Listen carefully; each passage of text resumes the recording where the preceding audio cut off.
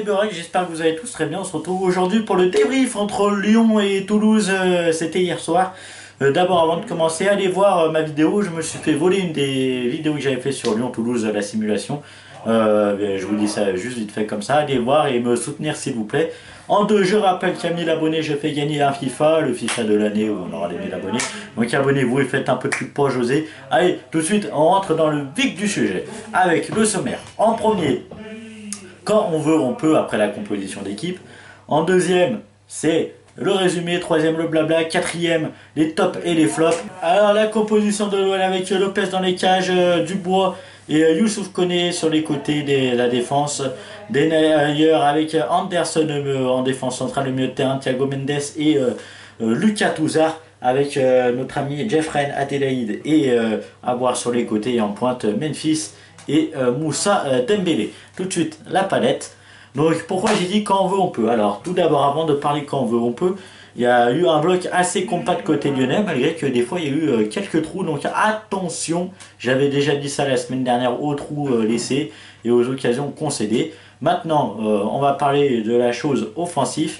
Alors quand l'OL voulait, soit ils pouvaient passer dans la défense toulousaine comme ils veulent avec un peu de technique, mais aussi eu ce que le plus c'est que ça allait vite vers l'avant quand Lyon a voulu et euh, ça posait beaucoup beaucoup de problèmes euh, aux Toulousains d'ailleurs. Comme la semaine dernière, les attaquants, on a trouvé des fois Adelaide à gauche, Oussem Avar à droite, Memphis sur les côtés, Dembélé aussi qui est bien revenu en défense, à noter, voilà, chercher les ballons. Et euh, donc voilà, des attaquants qui échangent. Voilà, donc tout de suite le résumé du match avec directement l'OL va être cueilli presque à froid euh, d'ailleurs, 8 euh, minute, Koulouris oblige Lopez à s'interposer avec cette tête. Le, centre à la 15e minute, ça c'était à la 8e juste avant, le centre à la 15e minute de Amiens pour Sanogo qui trompe Anthony Lopez, 1 but à 0 pour le Toulouse Football Club. On se dit que là l'OL retombe dans ses travers. 16e minute, le centre pour la volée de Memphis qui va passer au-dessus de la cage toulousaine. Dembélé euh, en retrait qui va donner à Memphis qui joue le 1-2 tout en technique euh, avec Adélaïde. Euh, et puis l'international néerlandais va égaliser sur une frappe croisée. Un but partout entre Gon et Toulousain. On va tout de suite aller à la 38e minute. Le Dembélé qui avait été lancé par avoir va rater l'occasion du 2 1. À cette fois, il aurait pu encore essayer de jouer personnel comme un peu la semaine dernière où il aurait pu donner le ballon en retrait. Il me semble que c'était Memphis avec euh, en seconde période tout de suite 49e euh, minute la frappe à 25 mètres de Thiago Mendes qui oblige euh, René à sortir la parade. voilà l'OL qui est bien rentré dans, ce match dans cette seconde période. À la 59e minute, après un cafouillage et Denayer qui va pousser un peu Anthony Lopez, il y aura une poussette aussi du Toulousain, mais peut-être pas assez pour siffler faute. Euh, je sais pas vraiment à froid, voilà ce que j'aurais fait moi.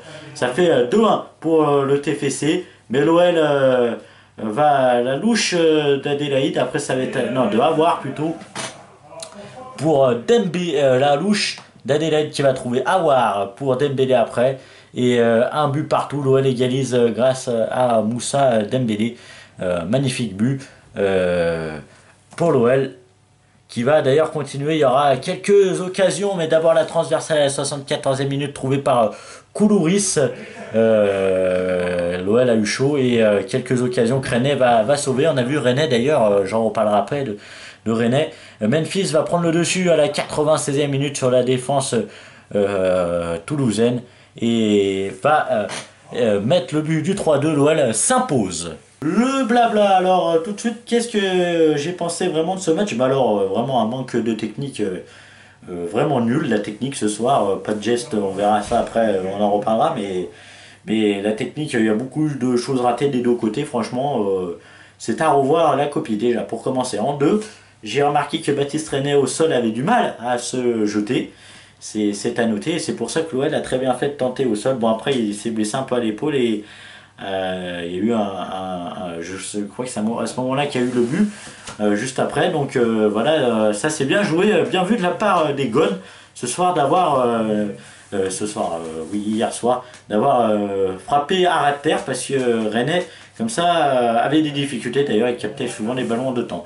Donc on va revenir sur l'occasion du but toulousain le deuxième Franchement, bon, Denayer, ça fait quelques matchs où il y a des fois il fait quelques erreurs.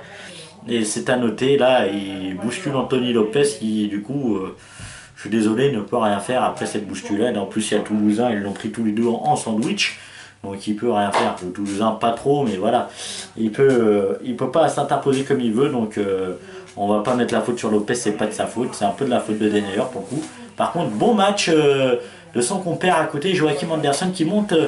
Qui va de mieux en mieux, qui monte en pression et ça va de mieux en mieux. Et même il y a eu un moment où il a fait le sprint de sa vie, comme on, discutait quand je regardais le match.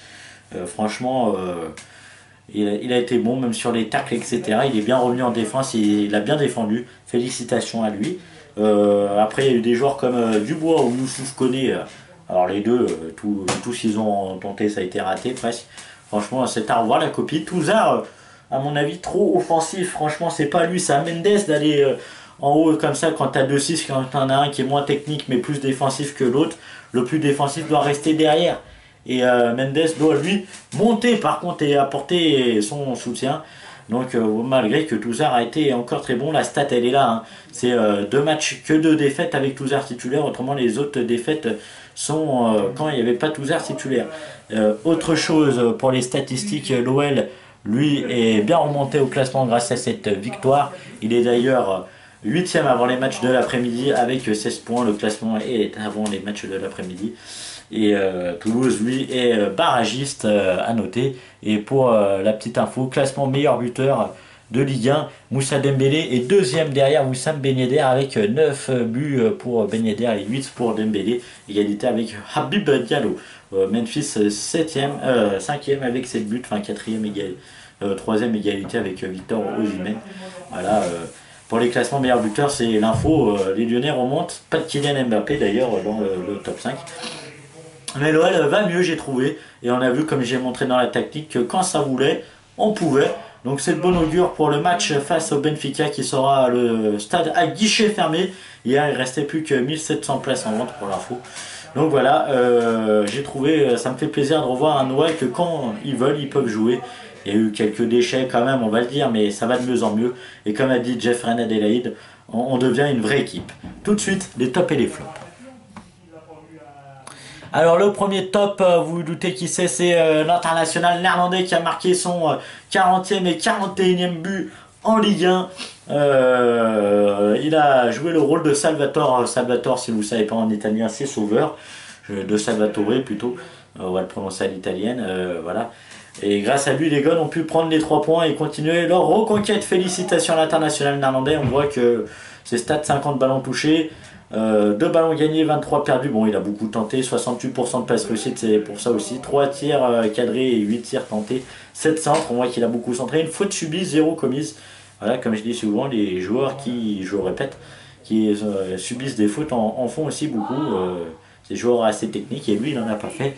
Je le félicite encore une fois et je le redis. Je me répète de vidéo en vidéo, mais c'est comme ça. Avec Jeffrey Adelaide pour le deuxième top avec 44 ballons touchés et 8 gagnés, 7 perdus, 89% de passes réussites, très très bien les passes. 0 tir tenté, donc 0 tir cadré, 2 centres, 3 fautes sublimes commises, c'est pareil que pour Memphis, je ne me répéterai pas la phrase. Et lui, il a fait une belle prestation avec une passe décisive et il est auteur sur les deux premiers buts. Il est, euh, il y est pour, voilà, dans ses deux premiers buts. Euh, lyonnais, félicitations à l'international du sport français à l'ancien Angevin et joueur des Gunners.